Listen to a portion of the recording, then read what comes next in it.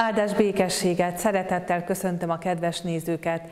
Isten igényét olvasom Pálapostolnak az Efézusiakhoz írott leveléből, a harmadik rész 17., 18. és 19. versét.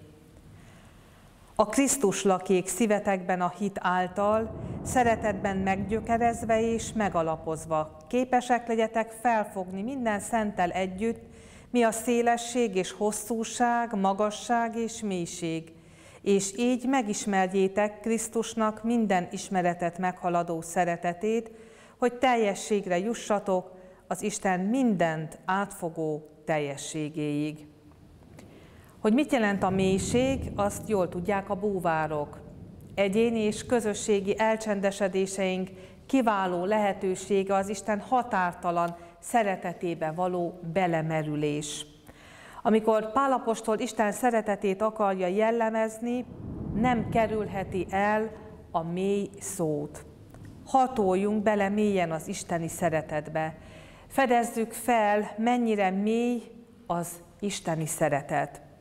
Mindazoknak, akik vágynak belemerülni ebbe a szeretetbe, a Szentírás egy horgonyt kínál. Ragadjuk meg ezt az ige verset, és hagyjuk, hogy maga után húzzon a mélybe. És az így hangzik, hogy Isten szeretet.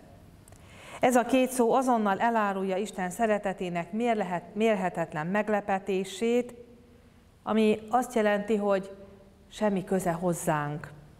Mások önmagunkért szeretnek minket, de nem így Isten.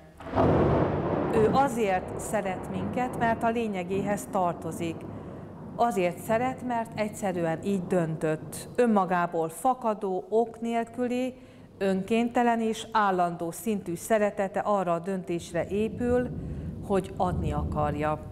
Nem azért szeretett meg, és nem azért választott ki benneteket az Úr, mint a valamennyi nép közt a legnagyobbak volnátok, hiszen a legkisebbek vagytok valamennyi nép közt. Olvashatjuk Mózes 5. könyvében nem befolyásolhatjuk Isten szeretetét. Nem tudunk hatni a fa faságára, vagy éppen az ég égségére, vagy a kő kőségére.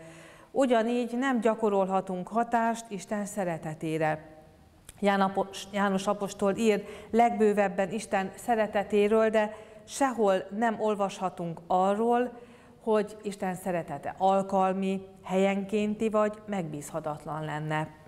Ha a tetteink befolyásolnánk odaadását, akkor Isten nem szeretet lenne, hanem ember, mert az emberi szeretet ilyen. Az emberi szeretet nem tökéletes, sőt nagyon is csalóka. Azt hiszem, hogy tudnánk rá személyes példát mondani mi magunk is. Mérhetetlen szükségünk van a szeretet soha ki nem apadó kutyára. Megtaláljuk egy kővel borított hegyen, Jeruzsálem falain kívül, ahol Jézus függ keresztre szegezve és tövissel koronázva. Ha vágyunk a tökéletes szeretetre, menjünk föl lélekben erre a hegyre. Szálljunk időt a menny irántunk való szeretetének elmélyült tanulmányozására. Isten azonban azzal mutatta meg, mennyire szeret bennünket, hogy Krisztus már akkor meghalt értünk, amikor még a bűneinkben éltünk. Áldott legyen ezért az ő nagy neve mindörökké. Amen.